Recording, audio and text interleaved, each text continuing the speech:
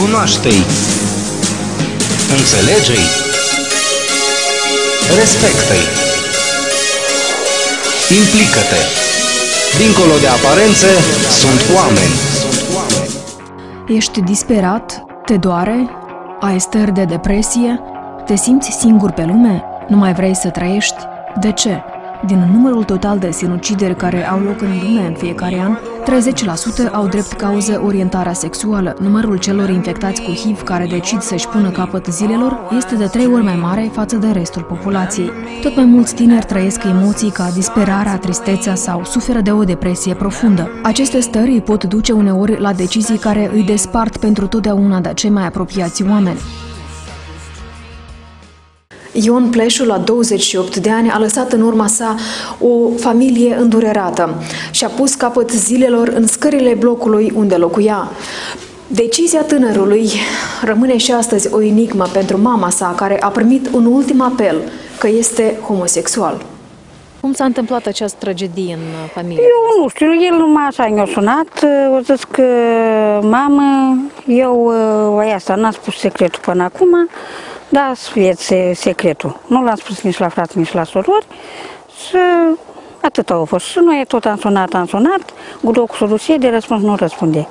Pe un sun la sora mea aici și sora mea zice, mai așteaptă, lea ca cu să mănânc ceva, așa să dau răspuns. Iar mai sunt la Ileana. Ileana zice, ca cu ne ducem. S-a la Chișinău. Și când s-a la Chișinău, mi-a sunat înapoi, eu zic că nu mai e aia sa, că Vanicea e mort. Și eu zic că l-am găsit spânzurat. Chiar dacă trăgea mai rar pe acasă, Ion era de ajutor mamei, făcea focul în sobă și îi plăcea să gospodărească. Acum toate grijile au rămas pe umerii femeii. Sporta ca o față. Da, așa, îl ținem ca o fată la mine. El că vine acasă, ca regulă. Chiar și făcut treaba asta, chiar să mă pun să mă să fac seama cum au zis sora mea asta, sora mea cealaltă care o am de la Chișinău, de la Candemer. Cum au zis, chiar să-mi fac eu seama pentru pentru că ce prostica când el de atâta mai tare, că poate de atâta mai tare. Și a zis când s-a audă satul, că el și a zis când ia să-mi fac eu cap să nu mai mai satul. Mama lui Ion nu bănuia nimic despre orientarea sexuală a fiului, iar teama că vestea va ajunge în familie și în sat l-a și determinat să-și pună capăt zilelor. Tragedia s-a întâmplat acum un an, după ce Ion împreună cu câțiva prieteni de-ai săi s-au întâlnit într-un parc din capitală. Unul dintre martori spune că în acea seară friguroasă au avut discuții aprinse cu doi polițiști care patrulau zona de agrement. Era după orele 5 seara, eu mă aflam în parc și am observat cum doi polițiști patrulau pe acolo. Și așa, patrulau uh, suspect.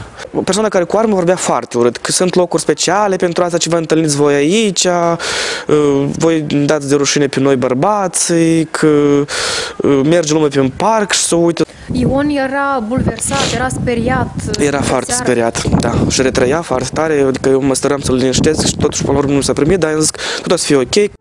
Reprezentanții Comisariatului General de Poliție neagă însă că întâmplarea s-a produs în aceste circunstanțe și afirmă că polițiștii au venit la fața locului în rezultatul unei sesizări. Au fost uh, sesizați de către o doamnă, au fost anunțați precum că uh, copilul ei de numai 5 ani a intrat în uh, wc public din parcul respectiv, unde a depistat două persoane de genul masculin în niște circunstanțe stranii. Au depistat persoanele în niște circunstanțe, adică contrar normelor etice, uh, care posibil uh, intenționau sau întrețineau un raport. Deci asta urmează... Da, da, da. Dar nu erau relații sexuale, dar ei mai mult se temeau că uh, vroiau ca să îi santajeze, că adică o, o să divulge informația lor la toți prietenii lor, că uh, or să află unde ei locuiesc. Până la mine, până ce am apropiat eu, când noi știu din viceu, le-au luat datele din buletin, uh, au întrebat unde lucrează, ceva de genul ăsta, că că prezentau actele. Și din câte mi-a spus Ion, că au ca să le divulge informația la părinți, la prieteni, la serviciu, unde Purtătorul de cuvânt al Comisariatului General de Poliție susține că în rezultatul anchetei s-a constatat că polițiștii sunt nevinovați. Aceștia resping acuzațiile că ar cere bani de la cei suspectați. Indiferent de persoană, de, indiferent de orientările sexuale, rasă, religie, așa cum prevede lege și codul de conduită a polițistului, polițistul trebuie să fie deci, legal, egal cu toate persoanele. Același lucru aveau să-l facă, să solicite acte de, actele de identitate. Rezultatele anchetei, deci s-a constatat că polițiștii nu au manifestat un comportament discriminatoriu față de persoane și mai ales nu s-a constatat, nu s-a stabilit că persoana ar fi solicitat careva mijloace bănești. De cealaltă parte, apărătorii drepturilor omului se arată îngrijorați că în ultimul timp polițiștii se folosesc de faptul că homosexualilor le este frică să le fie divulgată orientarea sexuală. Polițiștii știu foarte bine aceste locuri unde se întâlnesc băieții gay, vin uh, încolo și uh, prin șantaj le, uh, uh, le scoate bani.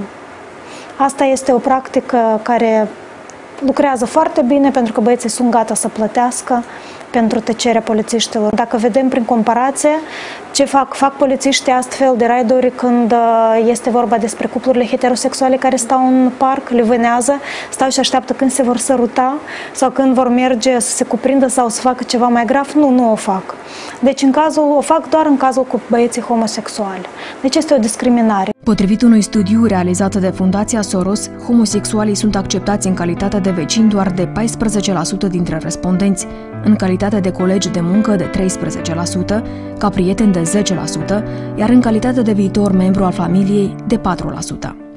Oamenii se tem să nu afle acasă, cei de acasă să nu afle cei de la serviciu despre orientarea lor sexuală este un procent foarte mare, eu aș nume poate chiar mai mult de 80%. Psihologii explică de ce homosexualilor le este frică să fie discriminați, fapt care și provoacă gândurile de suicid. Societatea fiind neinformată față de situațiile persoanelor ce sunt uh, cu virus HIV sau cu orientare homosexuală, fiind neinformați, marginalizează, discriminează. Și senzația de a fi singur, sentimentul de singurătate uh, sau marginalizat, respectiv uh, găsește ca unică soluție de a-și termina viața prin suicid. Fiecare din noi ar trebui să se gândească cel apropiat poate fi de orientare homosexuală, pentru că nu are curajul să se expună, să se deschidă din cauza agresivității sau conflictelor ce pot apărea, din cauza că pot să fie eliminați din familie.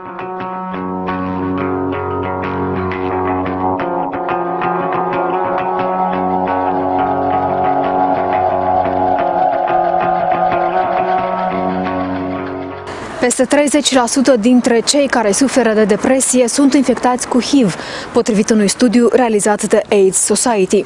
Un alt studiu elvețian arată că rata de sinucidere printre cei care trăiesc cu HIV este de trei ori mai mare decât în restul populației.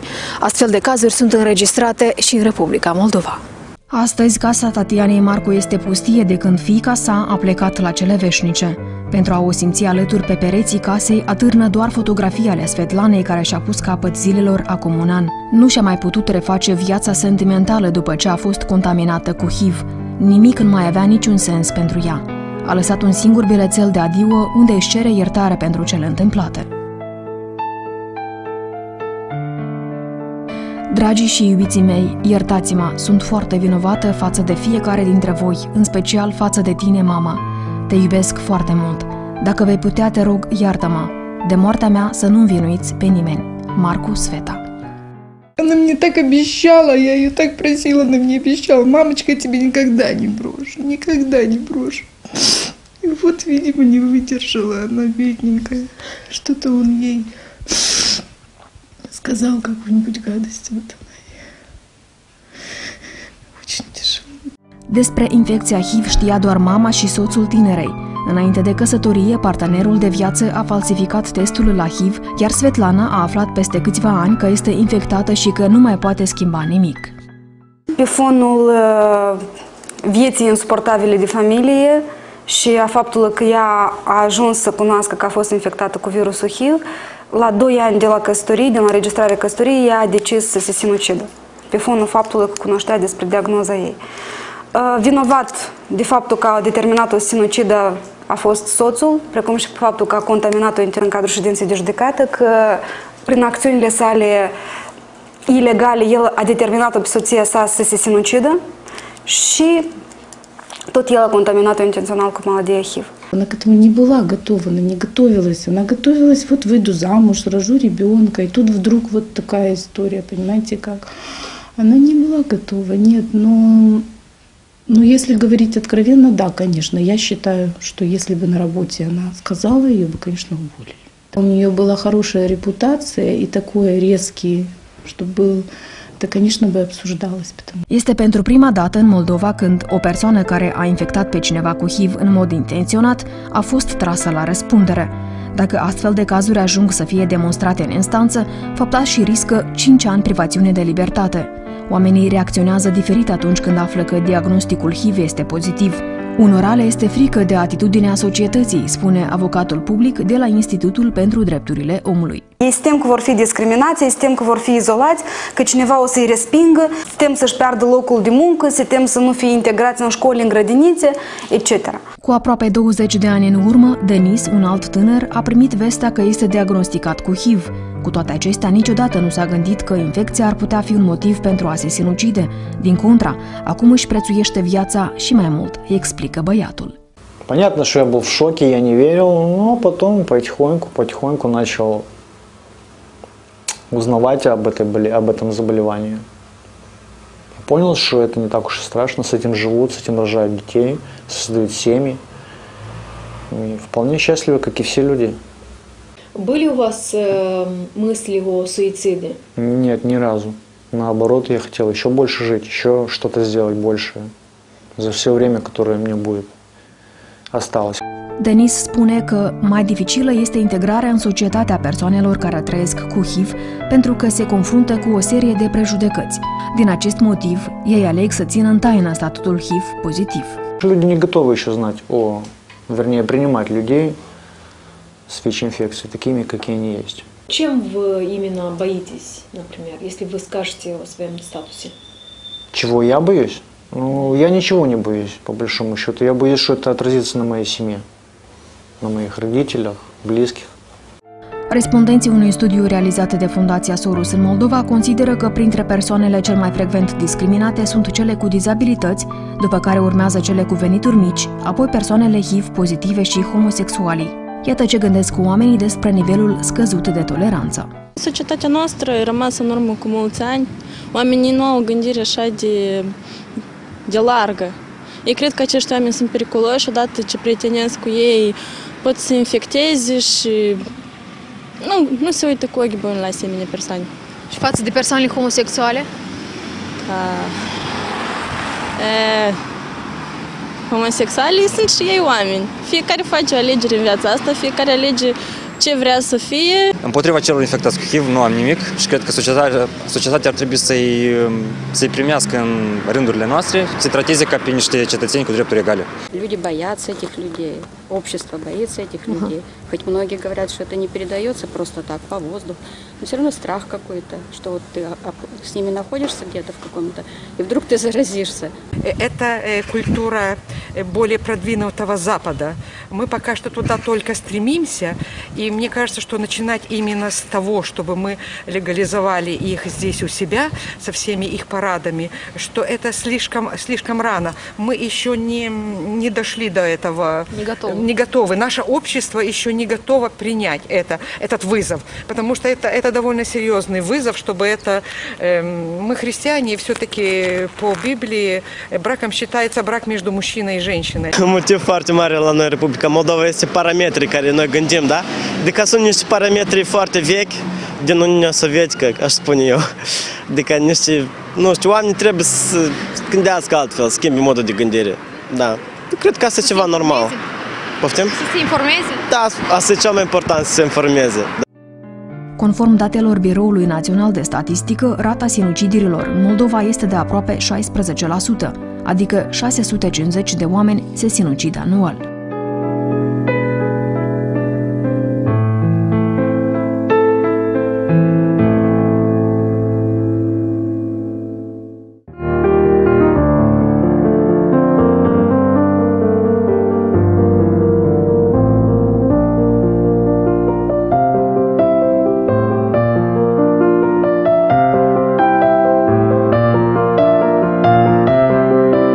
Contează de ce etnie suntem. Nu contează cine suntem. Nu contează cum vorbești. Nu contează cum arăți.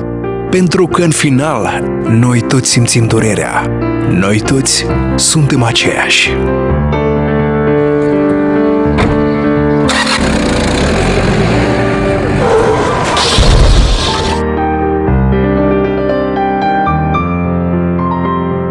Azi discriminezi, mâine poate fi rândul tău. Apără-te!